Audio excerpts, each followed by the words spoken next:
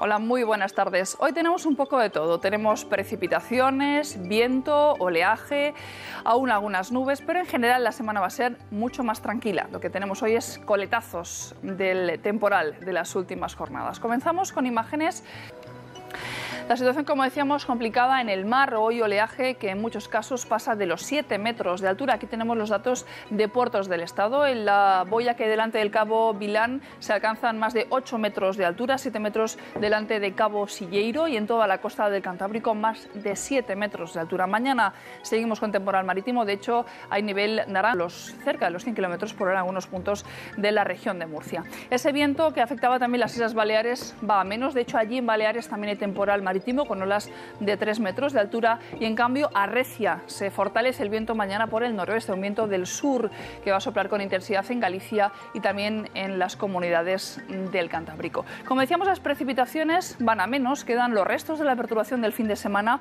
afectando las Islas Baleares. También han caído algunos chubascos de madrugada en el nordeste peninsular y en el Cantábrico Oriental.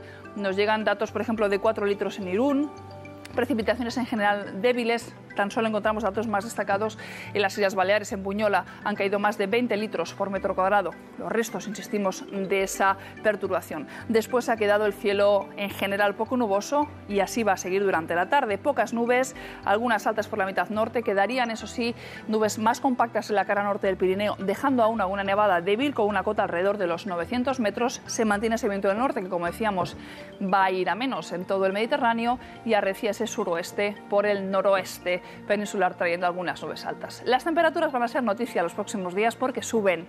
Vean el cambio de las máximas de hoy a mañana y pasado. El ascenso es notable en todo el país. Esperamos máximas que se colocarán por encima de los 15 grados en general en gran parte de España. ¿Por qué? Pues porque los vientos que predominarán del suroeste arrastran ese aire algo más cálido.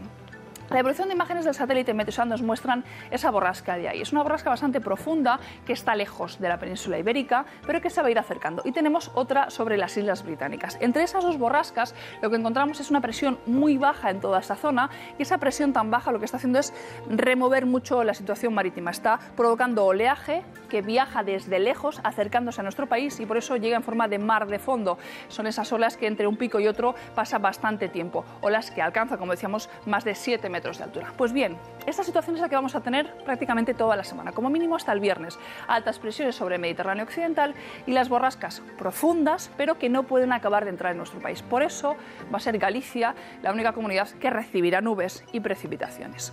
Mañana lloverá, pero muy poco. Va a ser una jornada en general poco nubosa en gran parte del país y las lluvias, las pocas que caigan en Galicia, caerán sobre todo en la costa de Morte probablemente. Nubes que allí dejarían lluvias sobre todo por la tarde y que en el interior van a ser muy rotas. Como el viento es del sur en el Pintorce, por ejemplo, en Pamplona o en Logroño. Sol en Cataluña y en Aragón. Quedarían algunas nubes por la mañana en la cara norte del Pirineo con tendencia a desaparecer. Pueden aparecer algunas brumas. Como decíamos, el viento del noroeste desaparecerá y en general la jornada será estable y suave. Eso sí, en todo el este peninsular las temperaturas mínimas bajan un poco. Descenso que nos lleva a hablar de valores, pues eso, de 1, menos 1, incluso en zonas del interior de Cataluña, uno en Zaragoza, ambiente algo se podrían acercar a los 18 en Sevilla.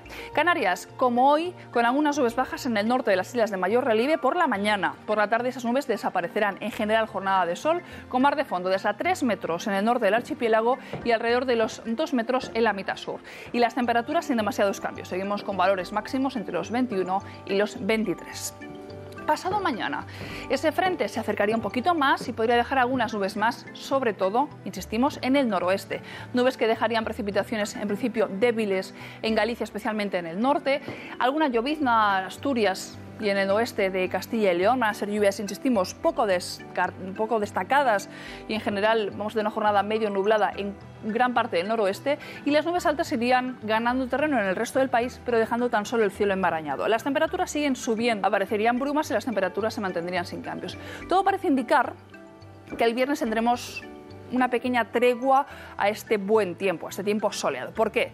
El viernes los mapas nos indican que nos pasa un frente, un frente que podría dejar precipitaciones en la mitad norte, descenso de las temperaturas y una bajada de la cota de nieve. Pero sería bastante puntual porque todo parece indicar que el fin de semana volveríamos a tener de nuevo sol y temperaturas que volverían a subir. Veremos qué es lo que acaba ocurriendo el viernes. De momentos hasta entonces, un tiempo básicamente soleado, con nubes altas y tan solo esas precipitaciones débiles en Galicia. Lo dejamos aquí. Feliz tarde y hasta mañana.